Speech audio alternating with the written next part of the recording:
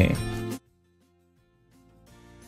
इस वीडियो के अंदर बच्चों हमें ये जानना है कि एक्सपेरिमेंटली किस तरह से हम ये पता लगा सकते हैं कि रेट लॉ क्या है ऑर्डर ऑफ़ रिएक्शन क्या है। आइए सीखते हैं सबसे पहला मेथड जो है आपका ग्राफिकल मेथड ग्राफिकल मेथड एक सिंपलेस्ट मेथड है और ये सिर्फ़ और सिर्फ़ उन्हीं रिएक्शन के लिए है जहाँ पर एक ही रिएक्टेंट प्रेजेंट है। आइए जरा जानते हैं।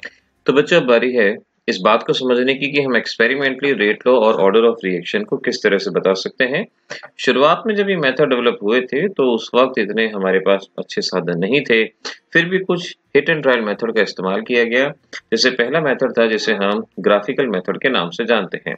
सपोज़ आपके पास कोई रिएक्शन है, जैसे ए गिव्स यू प्रोडक्ट कोई भी एक रिएक्शन आपके पास प्रेजेंट है, और हम मान लेते हैं कि लेट इस रिएक्शन के लिए रेट लॉ किसी भी तरह से हो सकता है।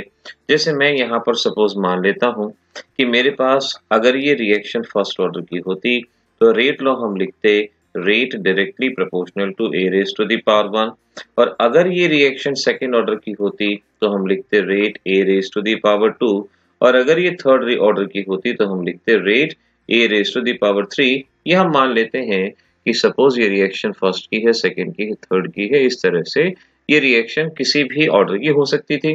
फिर हम क्या करते हैं? रेट और कंसंट्रेशन के बीच में ग्राफ लेते हैं और जो भी ग्राफ स्ट्रेट लाइन ग्राफ होता है, वही हमारा एग्जैक्ट रेट लॉ यहाँ पर पाया जाता है। सपोज़ आपका एक ग्राफ इस तरह से आया, इस टाइप का ग्राफ आया, एक ग्राफ आपका इस तरह से गया कि जैसे जैसे कंसंट्रेशन डिक्रीज होती है रेट ऑफ़ रिएक्शन डिक्रीज हुई और एक ग्राफ किसी और टाइप का यहाँ पे शिफ्ट हो गया। तो हमने कहा कि जो भी ग्राफ आपका स्ट्रेट लाइन ग्राफ होता है वही एक्चुअल ग्राफ माना गया और उसी लॉ को एक्चुअल रेट लॉ माना गया। तो हम कहेंगे हमारा सेकेंड ग्राफ यहाँ पर एक्चुअल रेट लॉ को रिप्रेजेंट कर रहा है। तो एक्चुअल रेट लॉ इस रिएक्शन के लिए हो गया rate directly proportional to A raise to the power two इस तरह से हो गया।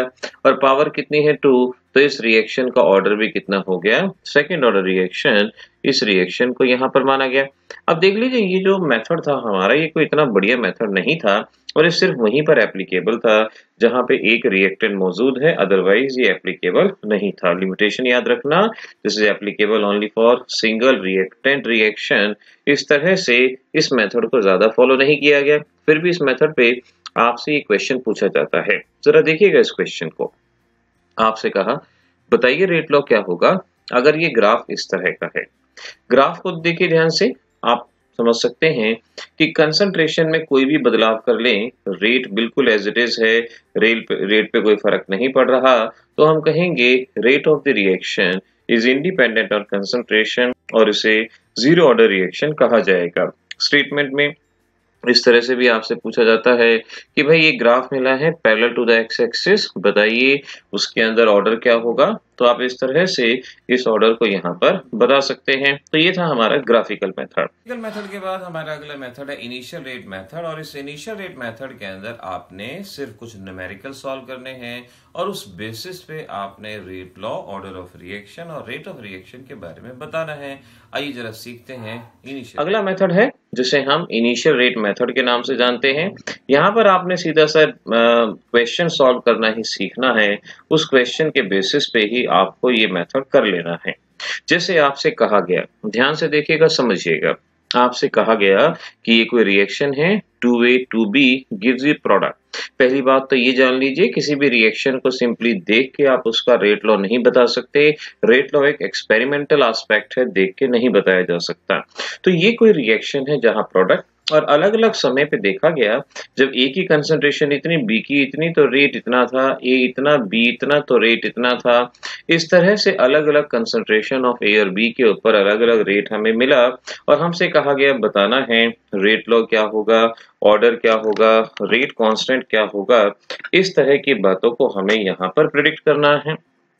तो इस टाइप का क्वेश्चन आता है देखने में बड़ा है, भयानक है। लेकिन एक्चुअल में ये कुछ खास ऐसा क्वेश्चन नहीं होता। जानिए किस तरह से सॉल्व करेंगे।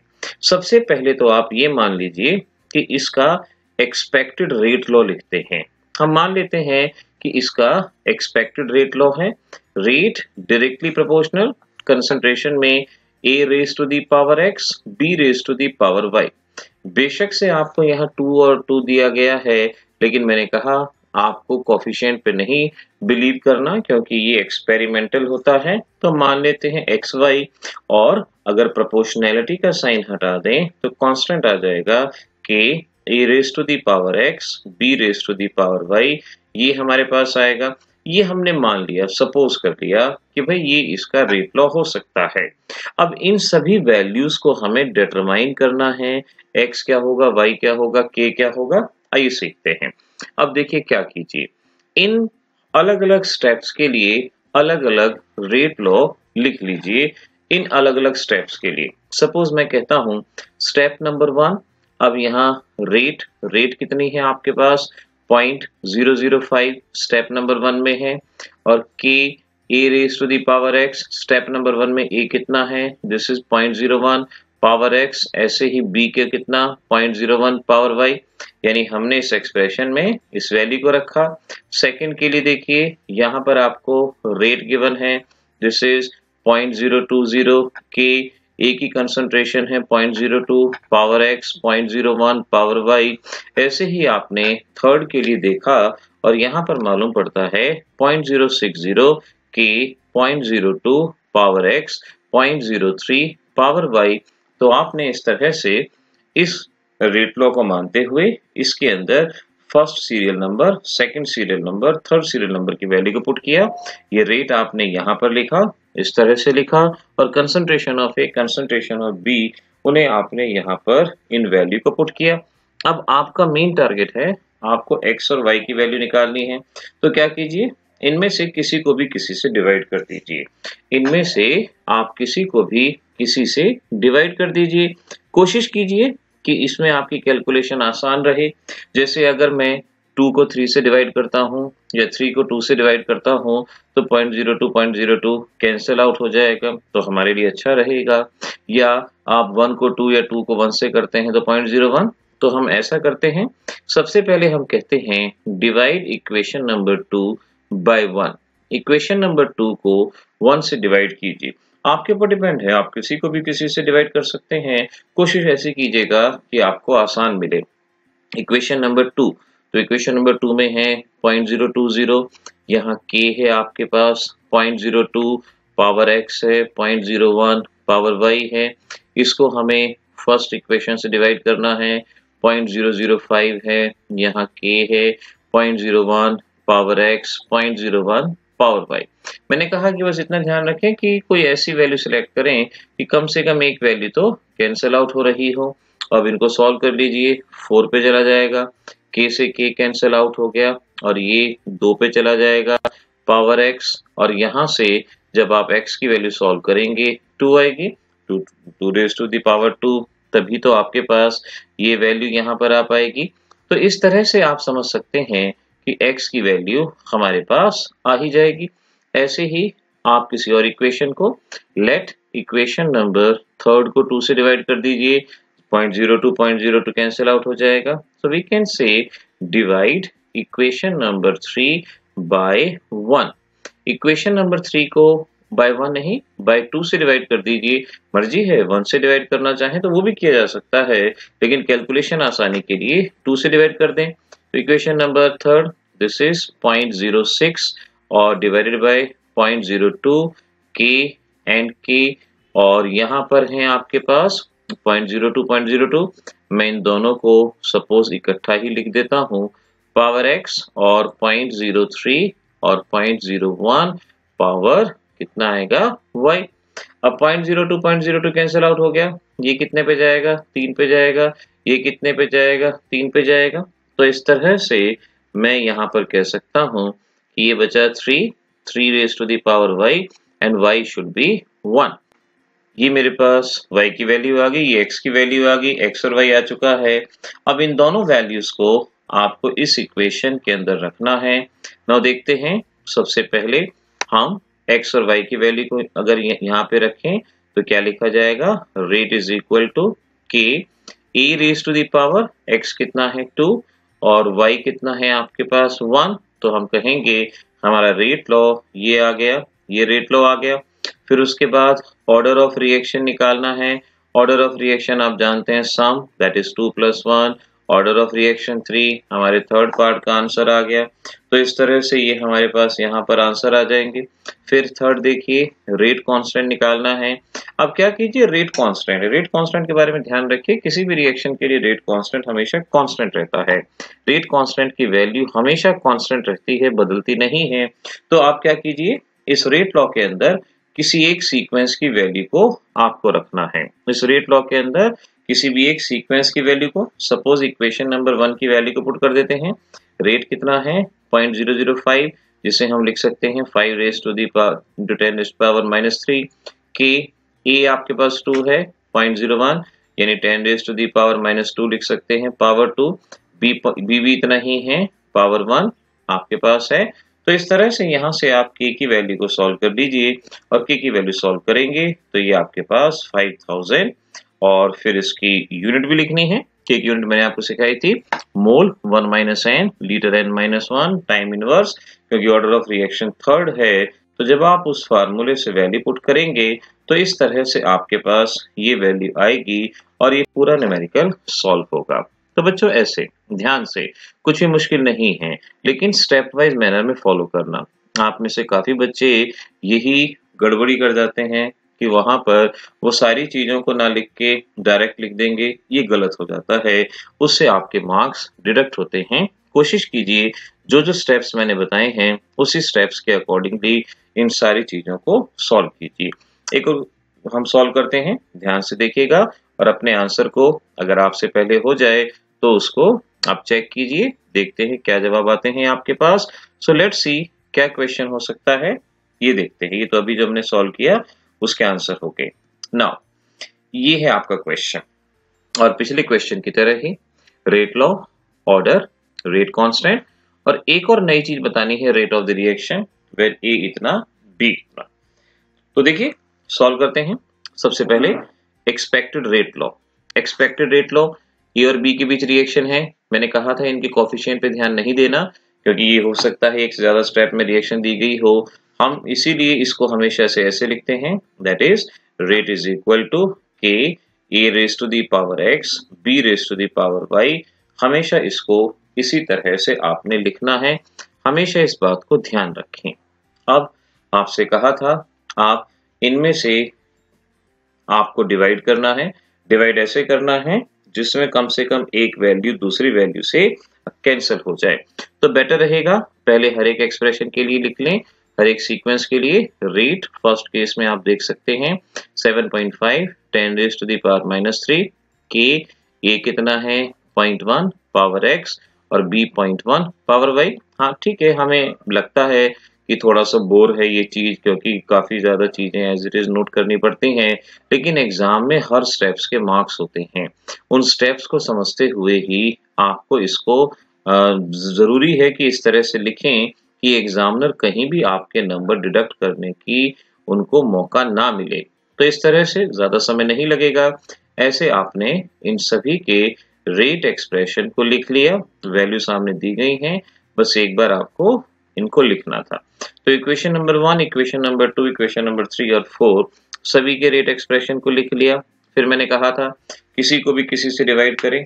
और कम से कम ये सोच के कि जिससे आपको एक वैल्यू कैंसिल आउट हो जाए। जैसे अगर आप टू और थ्री का इस्तेमाल करते हैं, तीन और तीन कैंसिल हो जाएगा। अगर आप वन और फोर का इस्तेमाल करते हैं तो वन और वन यहाँ से कैंसिल हो जाएगा। तो आप इनमें से सपोज़ हम कहते हैं डिवाइड लेट मान लेते हैं divide equation number third by two third को हम टू से डिवाइड करते हैं। तो देखते हैं, क्या एक्सप्रेशन बनता है? ये है थर्ड यहाँ given 3.6 10 raise to the power minus one k और फिर है पॉइंट थ्री पावर एक्स और फिर है point four power y divided by second second में है nine into ten power minus two k और पॉइंट थ्री पावर एक्स साथ में आ, कितना है? पॉइंट टू पावर वाई और इस तरह से देख सकते हैं हम यहाँ पर ये फोर पे जाएगा और ये टू पे जाएगा और इस तरह से y की वैल्यू टू आ जाएगी।